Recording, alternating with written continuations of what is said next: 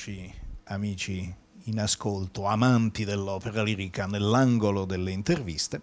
Questa volta l'angolo è il leggiadrito perché non abbiamo più Rolando Panerai, ma bensì abbiamo Vivian Hewitt, giusto per... Corretto. Corretto, ecco, meno male. Vivian Hewitt che prima è stata nominata dal maestro Panerai come quella che fa tutto. In realtà quella che fa tutto chiariamo la qualifica ufficiale che abbiamo di factotum come allora, allora io, Figaro io, praticamente. io di formazione sono regista, mm.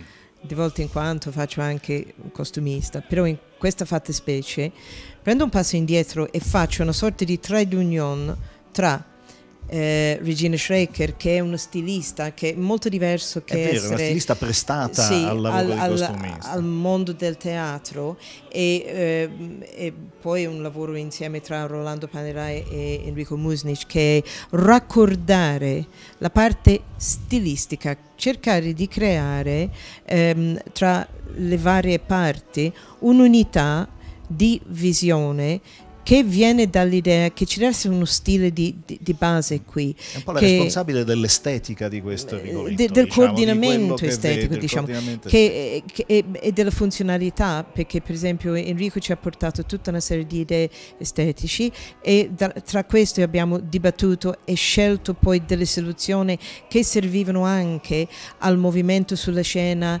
e alla praticità di tutto. Quindi eh, fare tutto funzionare in base a quello che deve essere la drammaturgia e allo stesso tempo fa un lavoro di raccordo tra Regina Schrecker che è molto abituato anche alle figure della moda, no? perché chiaramente chi sfila è alto, è bello, è perfetto, eh, non sempre un coro di 40 cantanti età molto diverso. Non è detto che sia alto, bello ecco, perfetto. Eh, n- non sono certamente sempre figure da certo. ballerini o da fotomodelli e quindi cercare di trovare uno stile che rispecchia l'apporto della moda nell'eleganza e eh, diciamo nella scelta coloristica, però che allo stesso tempo siano cose vestibili da persone che hanno 50 o 55 certo. anni, perché sai, quando ci metti un pantalone eh, di pelle e un giubbotto di pelle, deve essere fatto in un modo che non diventa comica. Eh sì.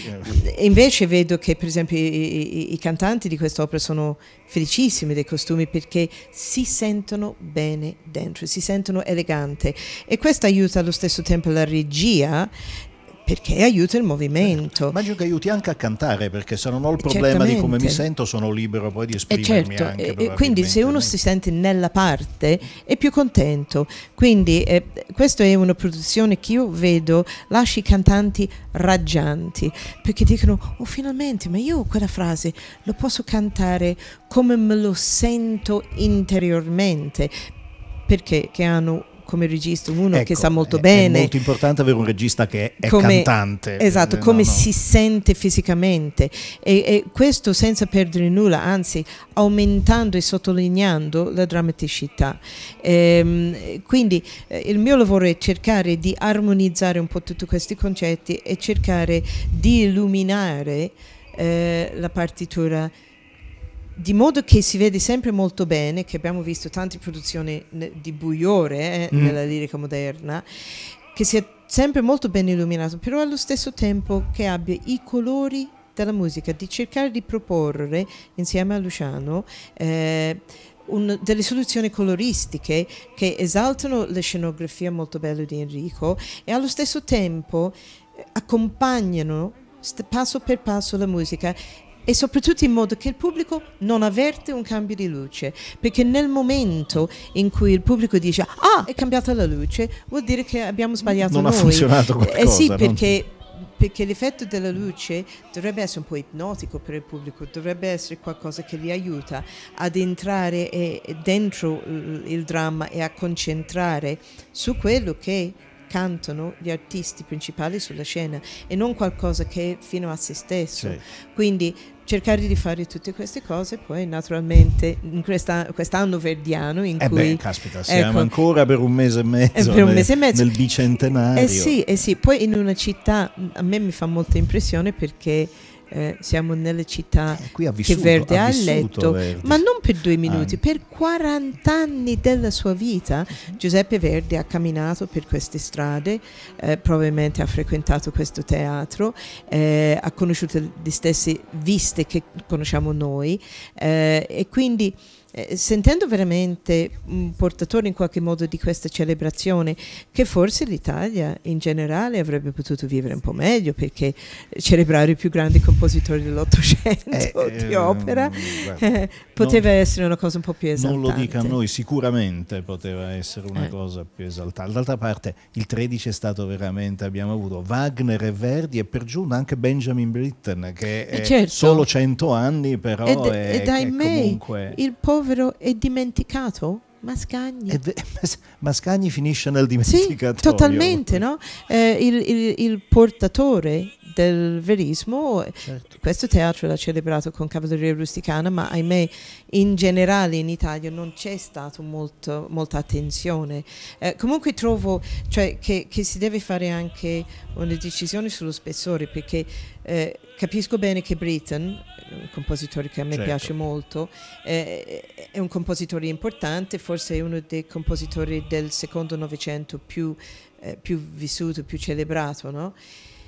Però certamente c'è un abisso tra questo e Verdi, perché certo, Verdi è l'uomo che non solo eh, domina l'Ottocento, ma che prepotentemente nel Novecento e nel nostro 2000, certo, certo, che, che eh, è, è, visto e stravisto su ogni palcoscenico eh, mondiale. No? Fu il vero uomo di teatro italiano. Noi in Italia abbiamo un'anomalia, no? da, tra Goldoni e Pirandello non abbiamo avuto grande eh, certo. teatro perché tutto lo spazio l'ha preso Giuseppe Verdi, esatto. proprio l'uomo di teatro l'uomo della per, musica, per del, del, teatro. Sì, è stato un musicista e, eh, l'uomo eh, sì. teatro. E, e, che a me dispiace un pochino che, che non si sottolinea anche la rivoluzionaria natura di questo Rigoletto. No? Se noi pensiamo del contesto in cui è nato quest'opera, fa un po' impressione. Le Roi Samuse. Le Roi Samuse, perché Victor Hugo nel 1800, credo 31, ha messo in scena l'opera teatrale che era una cosa abbastanza rivoluzionaria, no? E ha messo in scena un racconto in cui il re non era un uomo di grandi virtù, ma era Francesco Anzi, I cioè. che era un libertino, certamente il libertino che ha portato in Francia eh, la grande tendenza del rinascimento italiano no? con Quello Leonardo da Vinci, no? però è comunque un libertino. E l'idea che ci fosse un attentato alla vita di un re libertino nella Francia della Restaurazione era una cosa scioccante, per cui nonostante che la legge diceva che ci sarebbe eh, stata mai più la censura, all'indomani della mm. prima dell'opera è stato vietato e così è rimasto per 50 anni. Quindi Verdi quando prende in mano questo dramma a soltanto 20 anni dopo la prima e che decide di mettere in scena in un posto dove c'era la censura austriaca sì, molto forte, quindi a Venezia, prende un rischio enorme, prende un rischio di essere accusato di essere contro il regime austriaco in Italia. E, e, e la cosa curiosa è che è riuscita a imbambolare eh, il, il, critico, eh, il, la censura in una maniera incredibile. Cioè la censura alla fine si è occupata di preoccuparsi se era morale mettere un sacco sulla scena. si, hanno, trovato, hanno trovato brutto anzi osceno, mettere un sacco con una Nel persona morta dentro. In qualche modo il governatore austriaco non si è soffermato. Sì, ha sviato l'attenzione sì. dalla.